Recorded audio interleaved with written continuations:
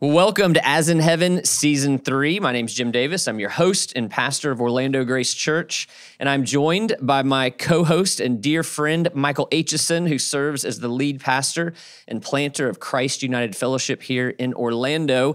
And today we have the privilege of being joined by Dr. Irwyn Ince. Irwyn serves as the coordinator of mission to North America with the PCA and serves as an adjunct professor of pastoral theology for Reformed Theological Seminary and he resides in our nation's capital, Washington, D.C. And if you visit DC and drop in on a CrossFit class, you may well find Irwyn to be your coach.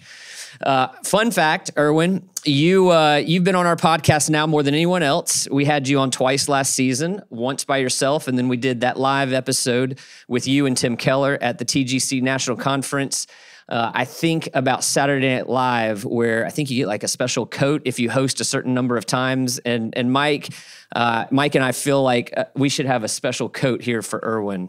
Uh, Jim, I agree 100%. In fact, I think we should name it the Instacoat. Wait for it, the Instacoat. Or the As It Ints in Heaven Award. How about that?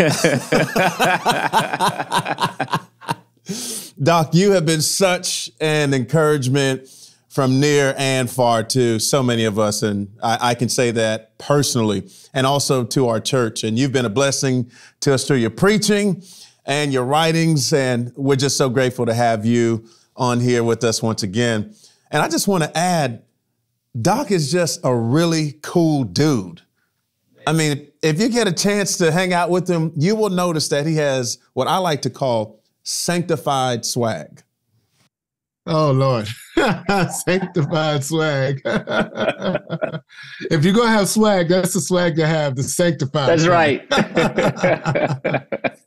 well, and you've also we us living in the RTS Orlando community. You've been such a blessing, and we, Mike and I both have a number of RTS students here who um, consistently tell us how blessed they are by the classes that you teach there and the ways that you invest in preaching in churches around Orlando. So we we really appreciate that too. Thank you.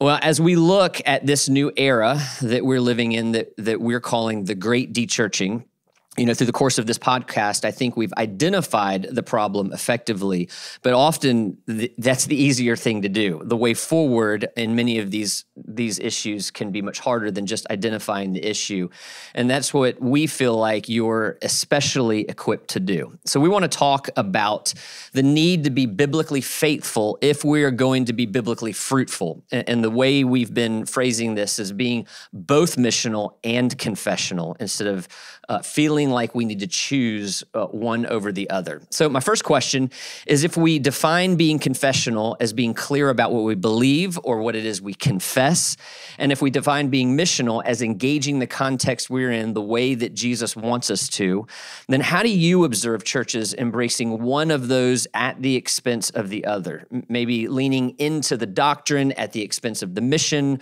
or leaning into what they would call the mission without building uh, the, the proper doctrine doctrinal foundation and what problems does that create? Yeah, well, this is it's, a, it's an important question because to uh, to separate or um, uh, to to look at being confessional and being missional as substant uh, substantively different is, is a false dichotomy. They're one and the same. If I'm if I am if I'm confessional, then I must be missional. um, and it, when we're talking about being biblical, right? If if I am if I'm missional, what's driving that mission is is my ultimate confession of who Christ is, right? That's the point, right? We we get to join in God's mission. It's not ours. It's, it's God's mission for His purpose that when we confess Christ as Lord, we get joined in on that mission, right? As the Father sent me, Jesus says in the Gospel of John, so so I send you, right? And so and so we the the we, we can find churches making this false dichotomy in this way. In one sense, people uh, can have uh, the notion that the most important thing that we do as a church is declare what we believe. That that at the at the top of the mountain of priorities is to say that we believe the scriptures to be the word of God, that we believe that Jesus Christ is Lord. And yes and amen. right? Um, and and and thinking that that actually is just enough. But but it's it's not enough in the sense that who are we declaring it to? are we just declaring it to each other? Yes, discipleship, right? We need to we need to hear the word again and again. We never right grow out of that. Right? Um, and so when you have a, a false dichotomy between confession and and mission, um, then you can think that as long as we are saying the right words to each other, we are being faithful. And, and that the message of the gospel, the proclamation of the good news never goes beyond our community, beyond our walls. We don't, we don't actually get involved in the mess of missional ministry. Missional ministry is messy, right? And on the other side of the spectrum, when we might say um, people are are prioritize mission mission and being missional, and here's what I mean by that: the outward activity. the, the the the being present in the cultural milieu, the right uh, the engaging the issues of the day. Um, we we don't do well if we neglect the fact that the point of being missional is to point to Jesus as the Lord. the point of the mission is to point to him as the solution.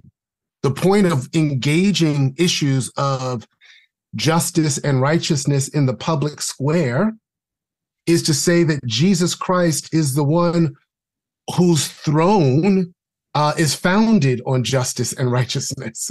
That's why it matters. And so, uh, and so this false dichotomy, on the one hand, uh, let me just uh, uh, uh, wrap it this way. My, one of my favorite people and theologians, professors, Dr. John Frame, whom you all know well, and I learned this from him when I was a seminary student at RTS, and he his definition for theology, right? He says theology is the application of the word of God by people to every facet or aspect of life. That that there's a doing to theology. It's not just a thinking and a believing to theology there's an acting, right? And so we, and then what happens is, this is the last thing I'll say. We pit ourselves against each other in the church. right? We make accusations that, oh, those are the missional people who don't care about doctrine uh, and theology, who are wishy-washy, who are on a, a slippery slope. Or then we'll say, well, those are, you know, the doctrinalist people. Those are the uh, uh, confessional people who don't care about loving neighbors, right? And we make caricatures actually of one another that that um, that do damage actually to the witness of the church.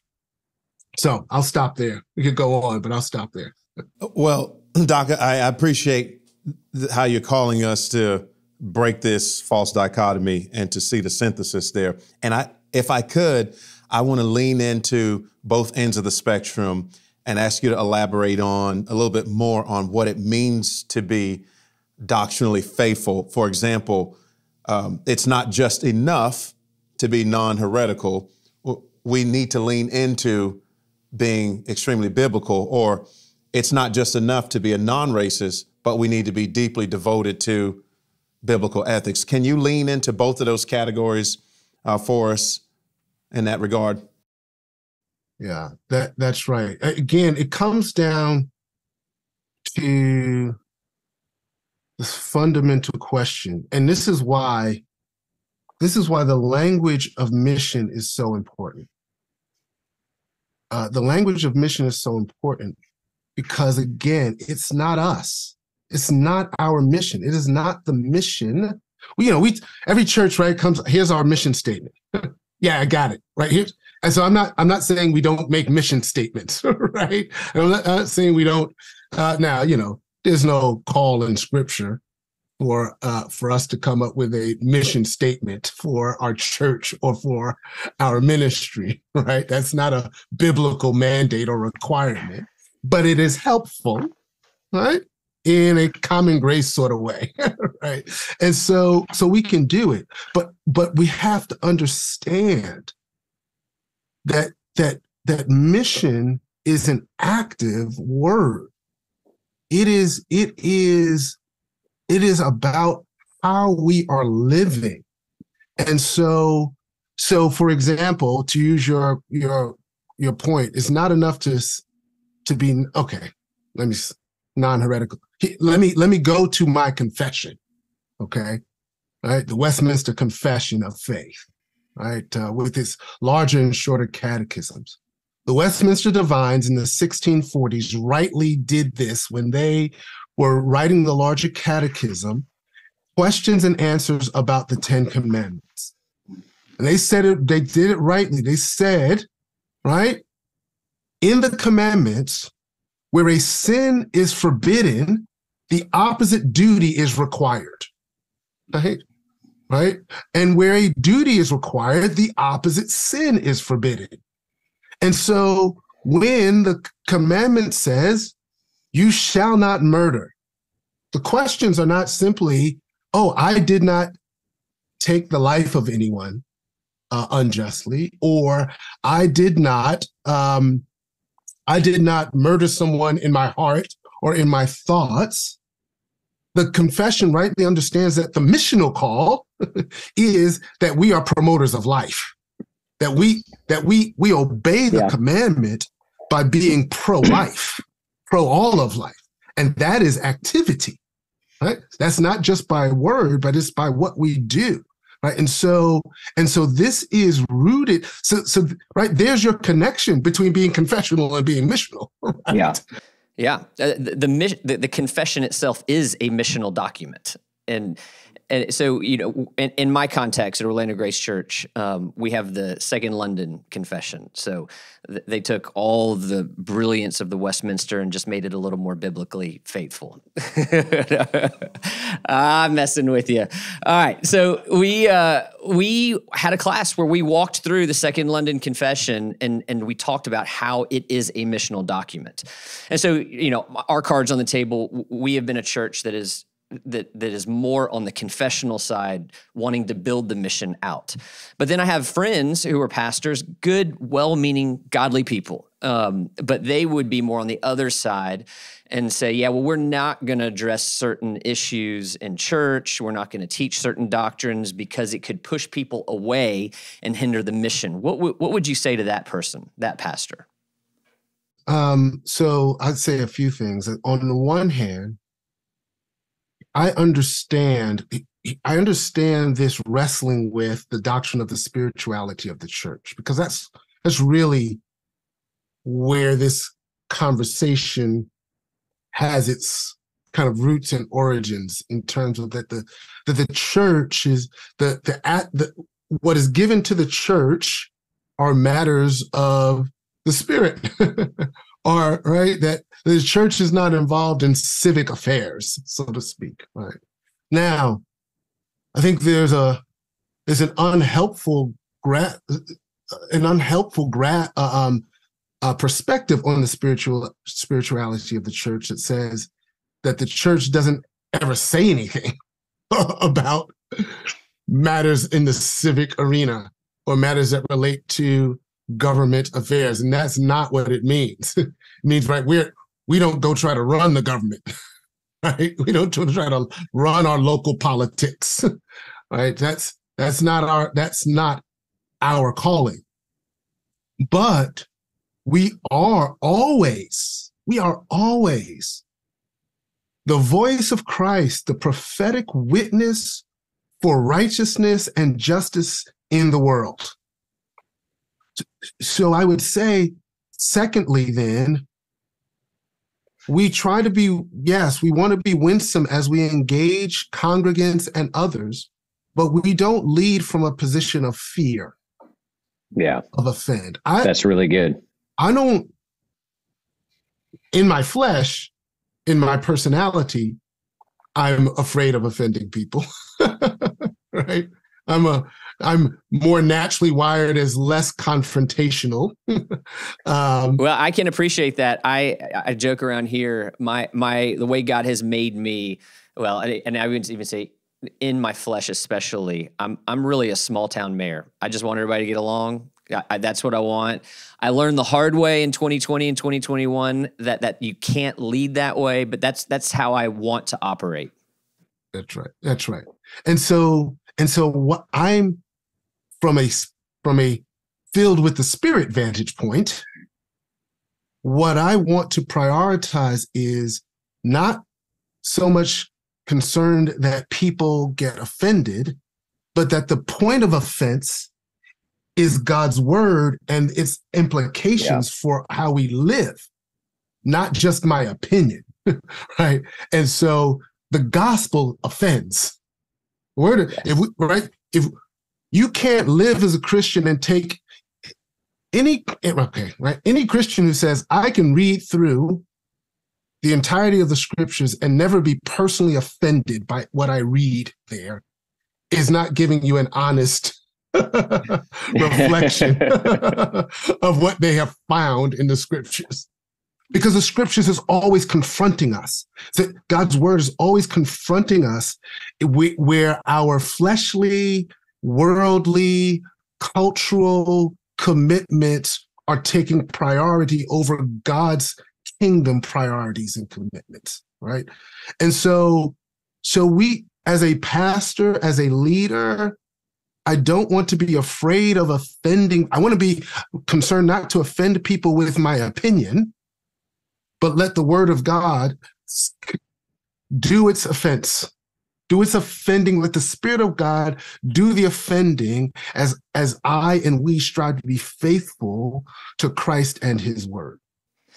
Well let's take the, i love what you're saying. Let's take this down to what we might call the ground level because one of the things that you do so well whether it's in your seminary classes or in your book the beautiful community is you begin with the important doctrines like the doctrine of God, the Trinity, doctrine of sin, and others, but you don't stop there. You apply it to the church but then you don't stop there either. You then help us to see how that doctrine should fuel the mission of every church. So could you could you just give an example of what that looks like? Maybe pick a doctrine, help us to see how orthodoxy, what we believe, should drive the orthopraxy, what we practice specifically in our mission to the world. Yeah. So so we'll take this at uh at three three phases or levels, right? And um, and you might you might um, not be surprised that I'm going to start with the doctrine of the Trinity, um, which you know for me I am not, and I'm pleased you did. foundational for so much of our practice in this language that we get from Jesus from the scriptures and from our Lord in the scriptures. What is the greatest commandment? You shall love the Lord your God with all your heart, soul, with all your might. And the second is like unto it, you shall love your neighbor as yourself. When these two, right, uh, are, are based all the prophets and the law. The doctrine of the Trinity, that God is eternally existent in three distinct persons Father, Son, and Holy Spirit, our triune God of grace. The one God. God is the very embodiment and epitome of unity and diversity, diversity in unity, as my favorite theologian, Herman Bavinck, says, right, in God too, there is unity and diversity, diversity and unity. Indeed, this order and this harmony is present in him absolutely. right? Right. And this makes for what he says the most perfect kind of community a community uh, of the same beings and it simultaneously makes for the most perfect diversity, a diversity of divine persons. And this theological truth, this foundational truth about who is the God that we worship, also answers this question who are we called to be? Because the first thing that the Word of God says about humanity from God's mouth is let us make humanity in our image according to our likeness. So we were made by God to image him as unity and diversity, diversity and unity. We are not made to be isolated individuals, right? Um, Bavinck, again, as you all know, I quote, right? It says, right, the image of God is much too rich for it to be fully realized in a single human being, however richly gifted that human being may be. It can only be somewhat unfolded in its depths and riches in humanity counting billions of members. right?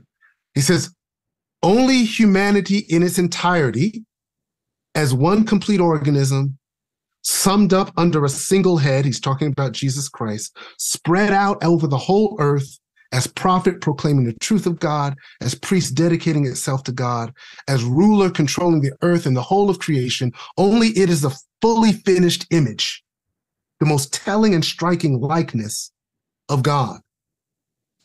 You want to have in your mind's eye what it means for humanity to be the image of God? You got to have the end of the story in view. You, you've got to have all of redeemed humanity in the new heaven and earth in all of its diversity, as he says, as one complete organism, not a uniform organism, but every tongue and tribe and people and language, right? Before the throne. Now, that's fundamental theology doctrine and its implication for us. And it comes down to practice and how then do we live? If this is true, first, as God's redeemed people, how then do we live? This drives so much of what we see in the scriptures we could talk about John 17 and Jesus' high priestly prayer about our oneness, um, but I'm not going to talk about that right now. I'm going to go to what Paul says to the Colossians. He's he's Colossians chapter 3. The apostle is talking to a diverse church. He says to them in verse 11 of Colossians 3, here Colossians, in the church, there isn't Greek and Jew, circumcised and uncircumcised, barbarian, Scythian, slave, free, but Christ is all and in all. He could say that to them because that's who's in the church. You've got this, you've got this now group of people who would not be together apart from Jesus Christ. Greek and Jew, barbarian, enslaved people, free people in one body. And now he says, here's what you do, right? He says, put on then, since this is true of you, put on then as God's chosen ones. You are the elect, you diverse people. Put on then as God's chosen ones, compassionate hearts, kindness, humility, patience, bearing with one another. If one has a complaint against another, forgiving one another. As the Lord has forgiven you, you must also forgive. And above all these things, he says, put on love that binds everything together in perfect harmony. Your life, he's saying, together. Why does he have to say, put on compassionate hearts, patience, meekness, bearing with one another, forgiving each other? Because what does it look like for these people who apart from Christ wouldn't have no relationships, no kind of intimate, loving communion together. Right? This is an outflow of the doctrine of the Trinity. The last thing I'll say, and then I'll let you ask another question, is going back to being confessional. Chapter 6, 26 of the Westminster Confession uh, of Faith is of the communion of saints. The, the obligations that God's people have because we're united by faith to Jesus Christ, we're united to one another in love, the obligation that we have to one another. It says we participate in each other's gifts and graces, and we're obligated to perform the public and private duties that make for our mutual good inwardly and outwardly. It's it's our duty to come to the aid of one another, both spiritually and materially, as uh, as according to our various abilities and then it says, as God affords opportunity, this communion is to be extended to all those in every place who call in the name of the Lord Jesus. Right? Robert Letham, in his book, The Westminster Assembly, he's writing about this. He says this about this chapter. Rightly so, that the, the Westminster Divines are basing this on um, our union with Christ which which implies and makes for our union with one another. But he says, right? He says that this communion is actually an overflow of the doctrine of the Trinity. There's union and unity, but in diversity. The Westminster Divines, they understood this. And so we have to live this out, and we live it out as witnesses to the world. Because what the world should see in the church is a union and a reconciliation across all kinds of polarizing, fractured, dividing lines. You should not be able to say in the United States of America, when you look at any congregation, that's a red church, that's a blue church. That church leans more to Republican politics. That church leans more to a Democratic poli- Demo, uh, Democrat Party politics. That should not be the defining characteristic of any congregation of our Lord. You should actually see the union and unity across political divides in congregations. All right, I'm going to stop there. Well, we can go ahead and, and take up the offering, but but but Doc, we've we've got to get you to lean in a little bit more in the Christological category now, since you've so eloquently given us the implication, the nature and implications of the Trinity. Can you help us understand uh, what are the implications of the incarnation? You said we're in union with each other because of Christ. So, what does it mean for us that that Christ clothed himself in flesh and walked these mundane shores? Boy, tell you what, um, it means everything in one sense. there is what is actually our hope for this kind of vision and life, in this kind of missional life. It it is it cannot be that we've got the right uh, strategies. We've got the right missional strategies for um, Christian communion and missional outreach. It is that our Lord clothed himself in human flesh for the redemption of the world. For he he came for this redemption. Right? It's impossible apart from him. Right? Since he partook, as the, the pastor says to the Hebrews in Hebrews chapter 2, right? Um, of these same things of flesh and blood, that he might destroy the power of the devil, right? That he might liberate all those who were subject, the pastor says, to lifelong slavery to the fear of death. Therefore, right, it is fitting, he says, right, um, that God should make the foundation, the founder of their salvation, perfect through suffering. Therefore, he's not ashamed to call them brothers. Right? Saying, I will sing of your name to my brothers in the midst of the congregation. I will sing a hymn of praise to you. I'll tell of your name to my brothers. That we, that, that Christ clothed himself and has become, therefore, our great high priest. We do not have a high priest who's unable to sympathize with our weaknesses, but one who is Hebrews chapter 4, right? Who's been tempted in every respect as we have, yet without sin, right? Therefore, let's draw near to the throne of grace with confidence that we might receive grace to help find mercy in our time of need. This is all rooted in the incarnation of Christ because he came, because he identified, right? We now have confidence, right?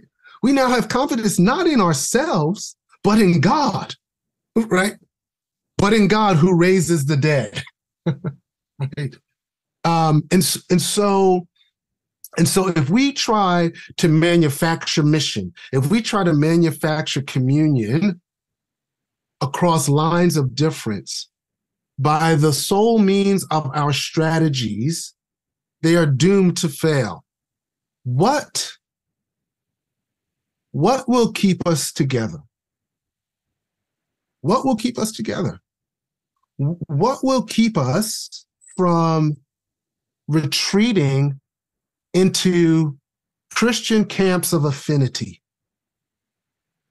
From from running away from the hard, impossible task of, I'm not even talking about loving non Christian neighbors who differ from, I'm talking about loving believers who who differ radically from us in terms of not just culture and ethnicity, but in terms of perspectives on all kinds of issues. Well, if what you're saying, I mean, if if there have ever been two years to confirm what you're saying, I mean, it feels like the 2020, 2021, those those were those years.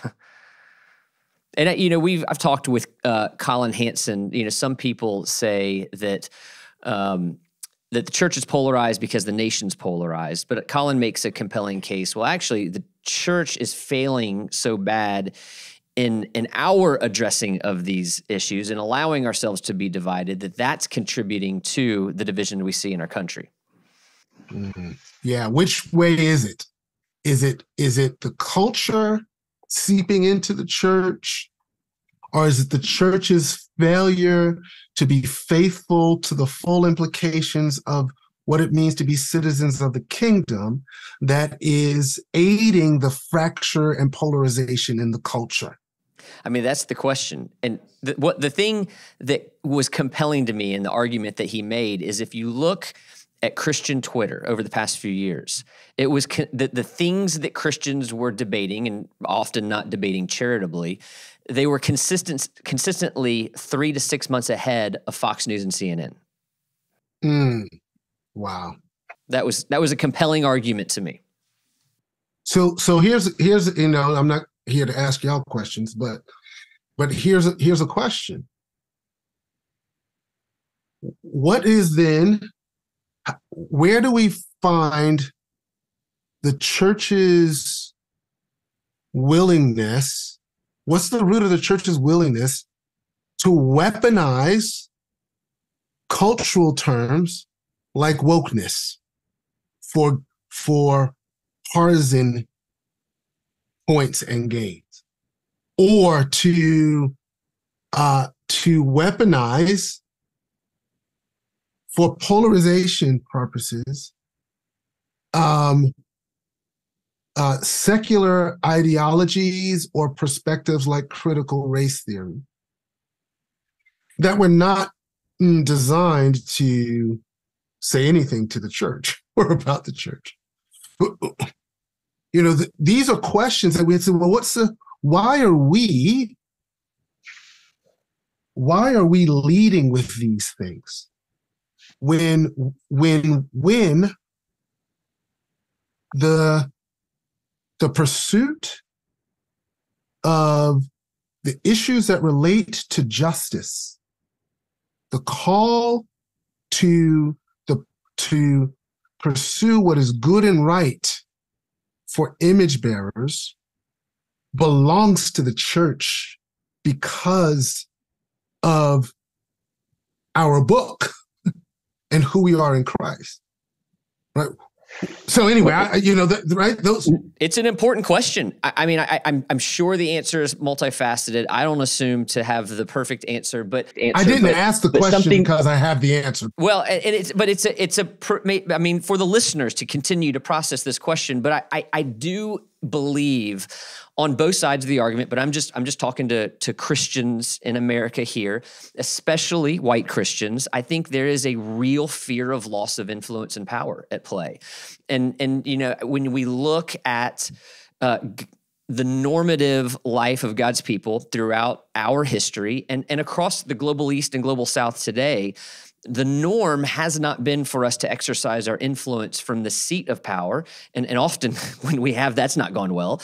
The norm has been to exercise our influence from the margins. Uh, and and I, I, I think that what we're experiencing is more of a return to what is normative in, in God's people, going back to Abraham, obviously Daniel, the Israelites, our brothers and sisters in the East now and, and that's scary. It's scary if you're not used to that. And this is where it intersects so well with missional and confessional. We have to have a robust understanding of a people being God's people, living in a a type of exile at all times until Jesus comes back for us to walk into this era of the great dechurching well because our goal isn't necessarily to win the country back and I think there's a lot of uh, false understandings of just that phrase in the beginning but our goal is to build up believers and give a more beautiful picture of of who we are called to be as believers in this time in this place. So I think it's an amazing a perfect question to ask and uh, and I hope others can build uh, build on that question. Yeah, absolutely right. Uh, yeah, I, I, echo those same sentiments. I, I I'm struggling with this one deeply. It, it's it's just so clear to me that we have the arena and the Constitution to work this out. We have the church and we have the document known as the Bible. And it seems to me that we, as the people of God, ought to be the most courageous, the most humble, the most willing to lean into these spaces. And, and even and even to consider these terms that come from, if you will, a, a secular space, even consider how they can be employed redemptively, right? The old saying goes, a stop clock is right at least twice a day. And, and so, I, and, and I think, I think, of course, you would have a better grasp on this it seems to me that we're still wrestling with the second commandment. The church in America has long wrestled with the second great commandment. All right. And so we, we've, over the years, all right, do we evangelize a certain people, a certain portion of the population? Are they even human? All right, well, they're human, but we still don't want to give full citizenship. We, we don't want to give up something that we've gained. And to me, that's rooted in understanding the full implications of the second commandment. Um, it's, you know, again, biblical fidelity requires biblical ethics. And so I think we're struggling with that. And I think of Charles Marsh's book, God's Long Summer, and you think back to 1950s, how is it possible for such great movements around Jesus? People, people hearing the gospel of Jesus preached so clearly articulated so clearly, but still walking out the door disliking and maybe potentially hating the people that God created. I think there was just a deep emphasis on getting your thoughts right and not your actions. And that's the second commandment. It's just as long as my soul is okay, it doesn't matter how I treat anyone else. And so I think we're in an age of reckoning um, because the polarization is clear. I mean, those are just things I'm wrestling with along the way of the, that question you asked. That's right. That's absolutely right. That that such an important point that this is connected to confession and and no one, right? I don't, no one would argue or would rightly argue that um, that that biblical ethics is interwoven in all of this. And biblical ethics is both confessional and missional, right? Is it's the ethics of what, what is right. And then what do we do? Right? We mm-hmm. do right. we do right.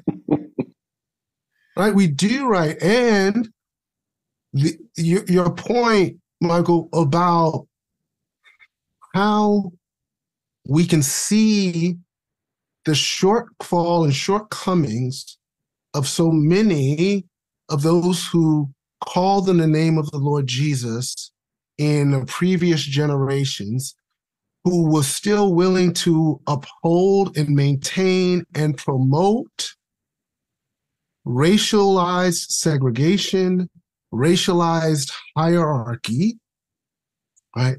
Um, how much the the the demands, the mandates to maintain a particular way of cultural being influences the church. And for us, we have to ask the question today where are those things still happening with us? Mm-hmm. We, we can't act as though, oh, you know, well, that was, but that's that's so terrible, man. Back then, you know, I could see if I if I was, you know, alive back then, you know, mm-hmm. I would have been, you know, t- the likelihood is not, you'd have probably been going right along with, you know, the program with everybody. So we got to ask because there, you all know, like there's a cost to righteousness and holiness. There's a cost to, to declaring what thus says the Lord and living it out. The, God always had witnesses. So, so it was not like in in era in bygone eras in the past few centuries in the United States that every white Christian pastor or leader was a proponent of racial segregation and racial hierarchies. No, those who spoke out against it were willing to pay a cost, and they did. Right? But they but they they understood that I live, right? We live coram deo. I, we live before the face of God. And so what can man do to me? they was asked, right? That do we have that kind of willingness today to press against the de- demands and the tide of cultural priorities that that are more about the kingdom of darkness than the kingdom of light. So one of the things I've heard you talk about, uh, we've we have seminary students in our church who rave about what you say is the multifaceted glory of the essence of God and how it is meant to be reflected in the church. Can you flesh that out a little bit? that I've said it already, um, but it is an implication of the Trinity, and so so we were yeah. made for unity and diversity, and we see this in the scriptures. We, you know, uh, Ephesians three, Paul talks about the the manifold wisdom of God being revealed. right, and that word manifold is is literally the multicolored wisdom the right the multifaceted wisdom of god and it's not a stretch to say to say that that has implications for the church because he's talking to this church about jew and gentile being together. And so we we have a love here's what i'll say and we'll i'll let you move on to the next question. We are called to a supernatural love that um, it says, listen, these people are not likely to be together or stay together apart from the power and witness of the Spirit of Christ. Why would they be together? That's what you should see when you look at the church. Why would they be together? It, the only reason we could give is Jesus. Yeah. Because they don't fit. So, Doc, one of one phrase you hear come up in the conversation about how the church can and should interact with the world around us is being in the world, but not of the world, which more or less comes from John 17. You've, you've touched on this at various points. Uh, but people on one extreme have used it to mean that they should distance themselves from the culture they live in because they are not of the world. And then people on the other extreme desiring to be more contextually connected, maybe over contextualizing, if you will, uh, to the world. Um, we're sent into have active, have, have, excuse me, actively become more like the world to minister to it. So, can you just help us zero out and, and, and understand what Jesus is saying in John 17 and how understanding and embracing those teachings should drive the mission of the church? Yeah, I, I, that's such an important question. Um, because if we listen to what Jesus is praying, this is John, this is his high priestly prayer. This is Jesus, right? We're we're getting clued in on his heart in prayer to the Father before his crucifixion. Mm-hmm. And it, and and it's the key things that he says, right? Um, he says, Father, I don't ask that you take them out of the world, mm-hmm. but that you keep them from the evil one. right? So so he says, right, they are not of the world, just like I'm not of the world. Right? But I'm not asking you to take them out of the world. I'm asking you, they're in the world. So so keep them from the evil one, right? Um, sanctify them in the truth, he says, for your word is truth. And then he says, as you sent me into the world, so I'm sending them. so, so that's the key that we're, yes, we're in it, but not of it. We're in it. And so we will often, if we are faithful to the Lord, we will often look like him in our missional engagement in the world. We will be accused of being a friend of sinners. we will be accused of being a a, a, a drunkard, right? Just like he. Why do you why do you eat and drink with sinners? Right? We if we look like our Lord, we will hear the those accusations from those who say, "Hey, the way to purity is is is no interaction with the fallen world. Right?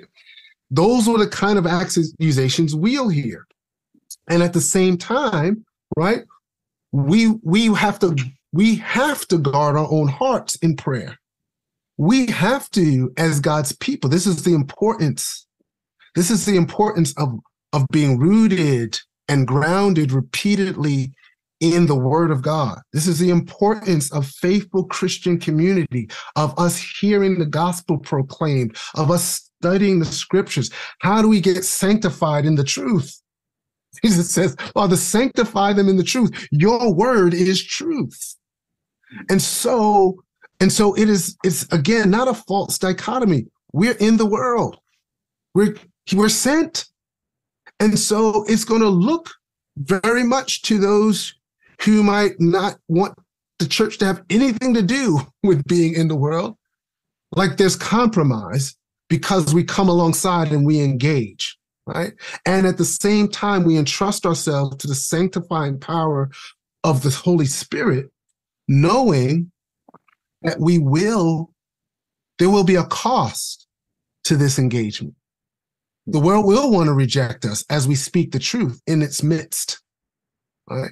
But we can't speak the truth in its midst unless we're engaged. Amen. Mm-hmm. Well, so I mean, you said it so well. I, under the with last question, under the banner that we're putting here of dechurching, we we live in the largest and fastest religious shift in the history of our country. We've proven that. That's not being debated. It's just going the opposite direction than the previous largest religious shifts, and, and it is our our opinion, our conviction that uh, that part of this is a con- contributing factor of this is churches letting go of either confession or mission. Uh, and that false, it's a false dichotomy, as you said, but but trying to lean more toward one at the expense of the other. So, I just want to finish by getting very practical. How how can we um, how can we employ what you are saying in the church better? How do we form members in our ministries and worship to do exactly what you're talking about here now? Yeah, a great question, and uh, I, this is how I describe very often the work that we do at Mission to North America. Mission to North America, we serve the Presbyterian Church in America for the cultivation of kingdom advancement. Right? We serve the church for this purpose, the outward face of the church. And I say, what we want to see is our ministry practitioners engage the resources of Mission to North America as they want to live out their confessional commitments engaging the missional opportunities that the current culture is providing. So we want to combine like our, we want to live out the implications of our confessional commitments missionally. so we have to ask certain questions.